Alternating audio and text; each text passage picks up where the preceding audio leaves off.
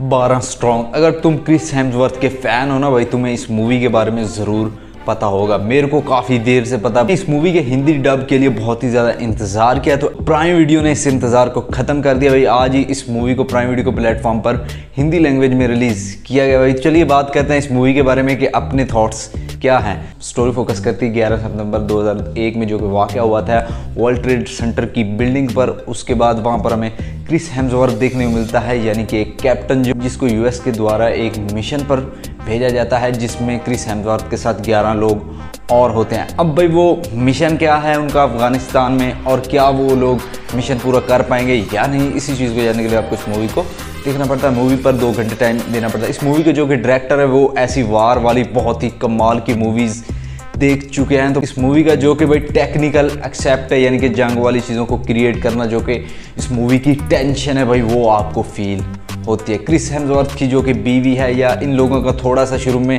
Character को bullet किया जाता है वो भी बड़े अच्छे तरीके से किया जाता है। अब इसमें जो कि कैप्टन क्रिस हेम्सवर्थ यानी कि नेल्सन नाम का बंदा देखने को मिलता है, इसका एक्टिंग सुपर लेवल का है। अगर आप लोग एक एक्शन लवर हो तो इस मूवी में भर भर के एक्शन देखने को मिलता है। खास तौर पर जो कि इस मूवी की एंडिंग में भाई घोड़ों पर बैठकर जो कि एक्शन देखने को मिलता है, वो बहुत ही बढ़िया टाइप का बनाया गया है। और इस मूवी में क्योंकि भाई ये जो 12 लोग जिस मिशन पर जाते हैं ना, इन्होंने कुछ और ही सोचा होता है कि भाई इतने लोग होंगे, अपना मिशन अपन ख़त्म करेगा और वापस आ जाएगा। और वो मिशन को 21 दिनों में पूरा करना होता, नहीं तो इनकी खैर नहीं है। लेकिन भाई, जो कि वहाँ पर तालिबान की तादाद बहुत ही ज़्यादा होती है, और उनके पास बोल सकते हैं जो कि हथियार है, वो भी काफ़ी ज़्यादा होता है। लेकिन इनकी तादाद भी बहुत कम है, इनकी कुछ लोग भी मदद करते हैं और इनके पास जो कि ये असले वाली चीज़ें हैं, ये भी बहुत कम होती हैं। तो फिर भी क्या ये लोग मिशन पूरे करेंगे? क्या होगा? वही इस मूवी का इंटरेस्टिंग फैक्ट भाई, लगता है। आप लोगों ने ज़्यादा क्रिस हेम्सवर्थ को थॉर के नाम से ही जाना होगा बट थॉर के अलावा भी इस बंदे ने कमाल करके रख दिया। Extraction movie twelfth strong movie को देखो और आप इस बंदे को सलाम ठोकोगे भाई।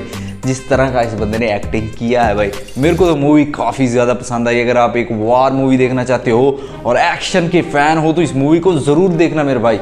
अगर मुझे इस मूवी को रेटिंग देनी हो फाइव में से थ्री पॉइंट फाइव रेटिंग दूँगा। वीडियो करते ही फिर खत्म चैनल पर नया हो तो चैनल को कर लो सब्सक्राइब मिलते हैं अगली किसी वीडियो में, तब तक के लिए अपना ख्याल रखिए। वीडियो देखने के लिए बहुत बहुत शुक्रिया।